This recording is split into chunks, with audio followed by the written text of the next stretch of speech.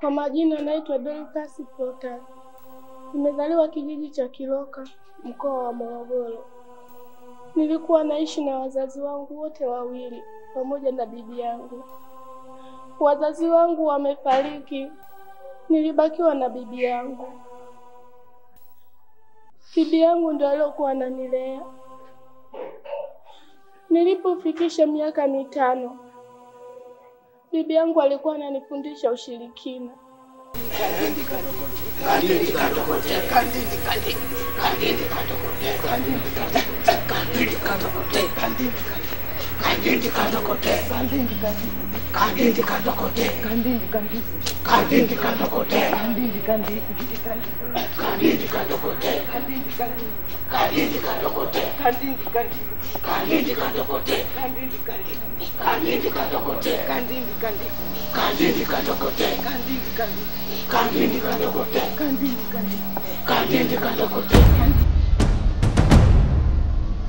Karibu. Asante.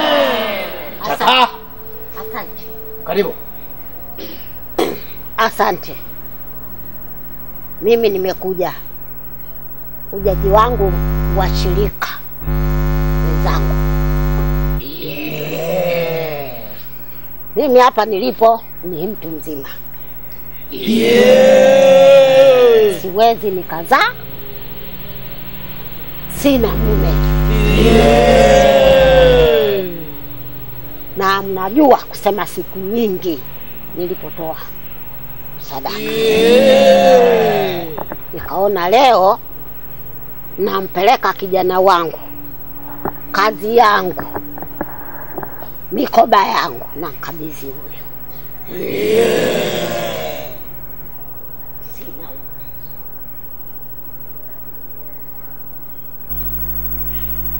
Washirika, mmesikia?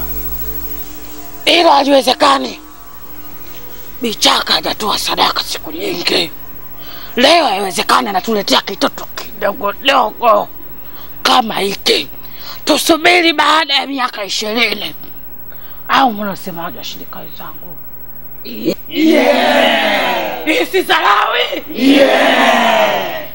Sikilizeni washirika, huyu kajiongeza baada ya kuto kutupa zawadi kwa muda mrefu.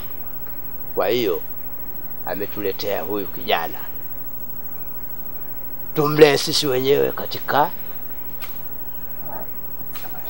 chama chetu. Baada ya miaka ishirini huyu atazaa, ataolewa, atazaa. Sasa ama mumewe atatuletea zawadi hapa au watoto wake kama kama wawili, tutafaidika. Sasa nyinyi mnataka kukataa, alafu mnataka kukataa tuendelee kula hasara. Baada ya miaka ishirini nikaja kufanya kazi Dar es Salaam.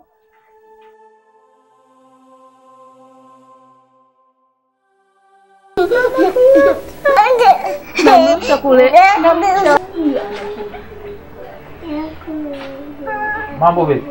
Poa, Mzima Doris? mzima. Mambo Poa. Twali? Twali. Eh. Mtoto anaonekana atakuwa na mdomo kama mamake. Bibi yangu alikuwa anakuja kwa njia ya uwanga.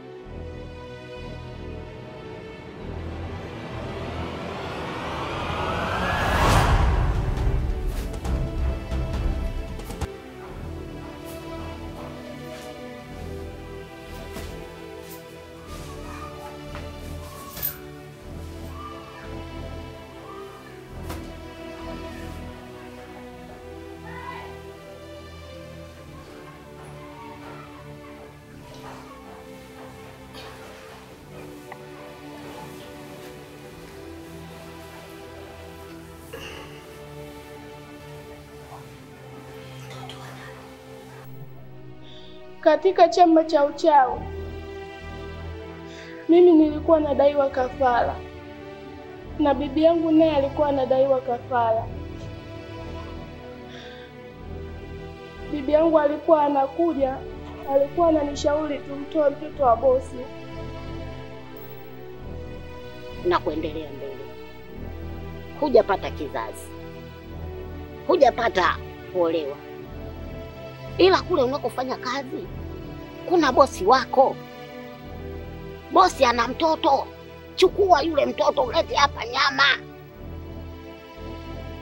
Bichaka, tunachotaka hapa ni nyama. Usipoleta nyama, tutakachokifanya utakuja kuona baadaye. Nilipokuwa nakataa, alikuwa bado ananilazimisha.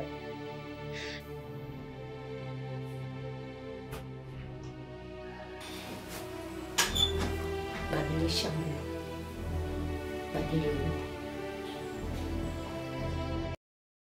Umesoma shule? Sawa. Umesoma shule? Umeletea chocolate eh? Iko wapi chocolate? Faumu. Unasikia Hadija, we ni mzuri sana, inatakiwa uwe na roho nzuri kama ya baba yako, sawa? Usiwe na roho mbaya kama mamako. Si unajua mamako ana roho mbaya sana. Mbitu! Mbetu! Mbetu! Mbetu! Kafanyaje? Umemfanyaje?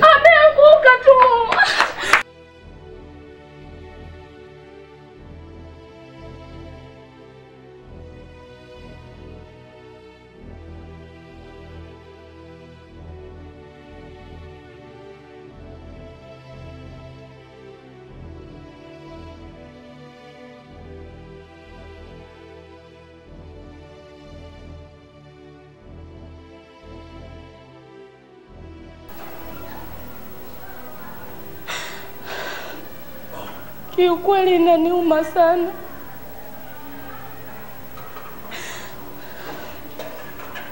Ile kafara ikakubalika, wanachama wakafurahia, alibakia tu bibi yangu.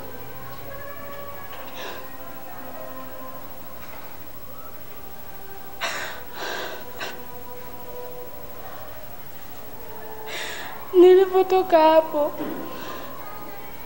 ndipo nikaona lile jambo alikunipendeza, nikaamua tu kumrudia Mungu.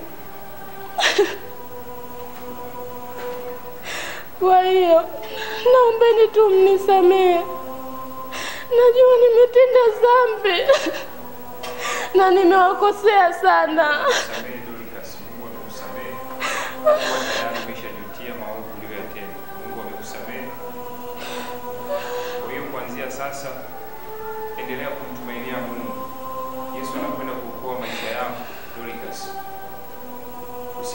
Tena maovu ambayo umeyatenda mwanzo.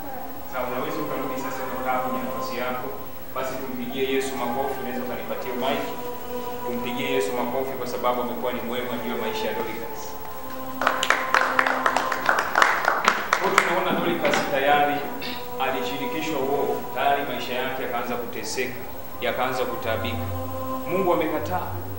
Amesema hata kwenye Isaya ile 47:12 anasema, simama sasa na uganga wako na wingi wa uchawi wako uliojitabisha nao tangu ujana wako, labda utaweza kupata faida, labda utaweza kushinda. Hakuna mtu ambaye anamtumainia shetani akafanikiwa katika maisha yake.